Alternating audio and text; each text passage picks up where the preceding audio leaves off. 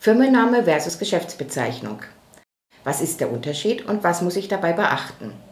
Wir haben unsere Gründungsberaterin Daniela Dusel gefragt. Nicht jedes Unternehmen ist im Handelsregister eingetragen. Ein Gewerbebetrieb tritt oft mit einer Geschäftsbezeichnung am Markt auf, während ein Handelsregisterunternehmen offiziell immer die Firmierung nutzen muss. Und was ist, wenn mein Firmenname nicht zulässig ist? Muss ich dann den Namen, den ich seit vielen Jahren benutze, nochmal ändern? Theoretisch können Unternehmen beide Namensgebungen parallel verwenden. Das heißt auf der einen Seite die Geschäftsbezeichnung wie ein Logo, ein Schriftzug. Das können Sie auf Ihren Papieren natürlich auch eindrucken, aber abgesetzt von Ihrer Anschrift. Im Anschriftenfeld muss immer die Firmierung stehen, das heißt der im Handelsregister eingetragene Name. Und wie kann ich meinen Firmennamen konkret prüfen lassen? Sie gehen bei uns auf die Internetseite www.würzburg.ihk.de slash Firmenvoranfrage.